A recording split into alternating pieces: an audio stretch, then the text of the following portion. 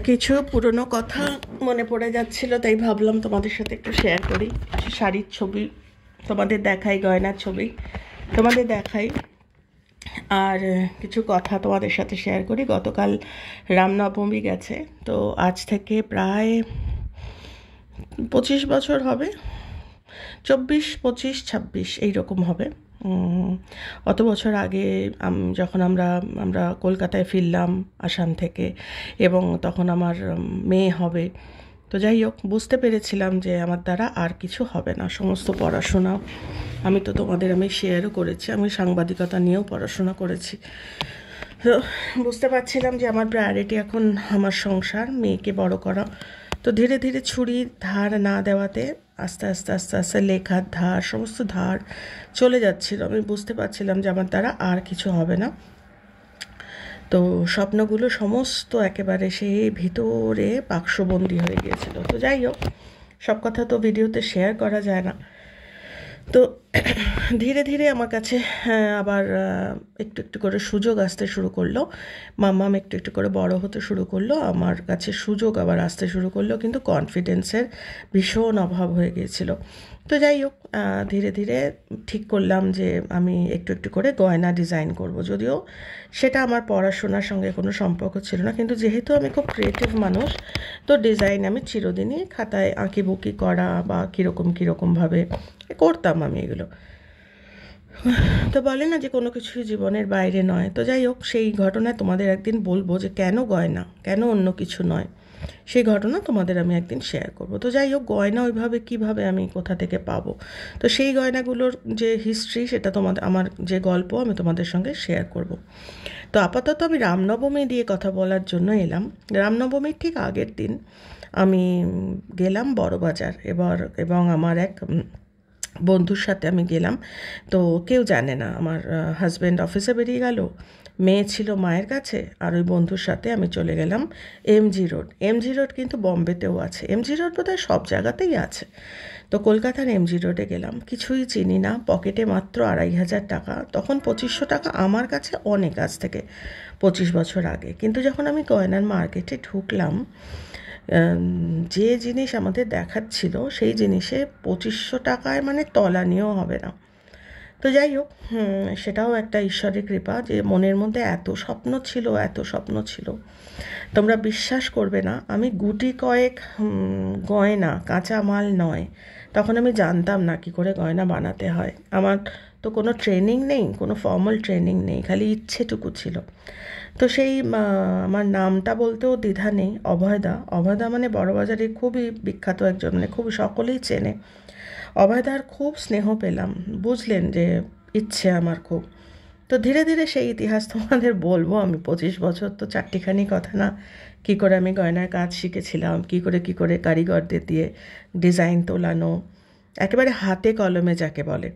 তো এই আমার বড়বাজার যাওয়া আসা শুরু হলো এবং অভয়দার কাছে ওই গয়নার সমস্ত কি করে পাথর কাটিং হয়, কি করে মুক্ত বসানো হয়, কি করে ঝালাই কাকে বলে, কোন কোন জিনিসে ঝালাই হয় না, কোন কোন জিনিসে ঝালাই হয়, এই আমি ধীরে ধীরে শিখতে শুরু করলাম এবং অল্প অল্প করে পঁচিশশো টাকার মধ্যে আমি তিনশো টাকা আর ব্যাগে কিছু আমার ছিল পয়সা এক্সট্রা সেটা আমি রাখলাম, আমার ট্যাক্সি ফেয়ার আসা যাওয়ার, আর বাকিটা আমি গয়না তুলে আনলাম। এই যে এখন যে জিনিসগুলো দেখাচ্ছি না সেই সময় কিন্তু এই এত ভালো কোয়ালিটি ছিল না। সেই সময় একেবারেই মানে সব কথা তো ট্রেড সিক্রেট সব তো বলা যায় না। তো যাই হোক, সেই গয়না নিয়ে আমি বাড়ি এলাম এবং আমার কাজ শুরু হলো।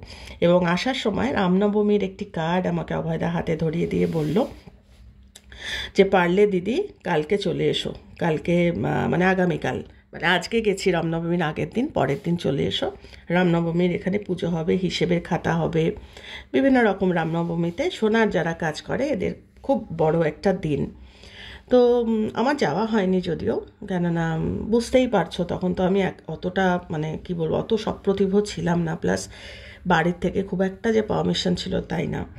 আজকে সেই যে হাতে কলমে শেখা বাইশশো তো, তেইশশো, চব্বিশশো, পঁচিশ, বাইশশো টাকার মতো যে গয়না আমি নিয়ে এসেছিলাম বলতে কোনো দ্বিধা নেই। আমার বন্ধু বান্ধবরা মানে এটা একটা অভিজ্ঞতা যে নতুন মানে যে কোনো জিনিসে আমরা করি না কেন, আমাদের বন্ধু বান্ধবরা হেল্প করে না। মানে এটা এটা খুব মানে এটা একটা কমন কথা যে বাইরের লোক কেনে, কিন্তু বন্ধু বান্ধবরা কেনে সত্যি হয়নি। আমার সমস্ত বন্ধু বান্ধব এগিয়ে এসেছিল। প্রত্যেকে মানে ভীষণ আদর করে ভালোবেসে তারা গয়না আমার থেকে কিনেছিল এবং ওই আড়াই হাজার টাকা আমার ডাবল আপ হতে শুরু করেছিল। আমার অভয়দার কাছে যাওয়া ডাবল আপ হতে শুরু করেছিল। ধীরে ধীরে অভয়দা আমাকে আরও অনেক মানুষের সাথে পরিচয় করিয়ে দিয়েছিল, যাদের থেকে আমি আগামী দিনে এইবারে আমার শুরু হলো নতুন মানে গয়না নয়, এবার আমার শুরু হলো কাঁচা মাল তোলা।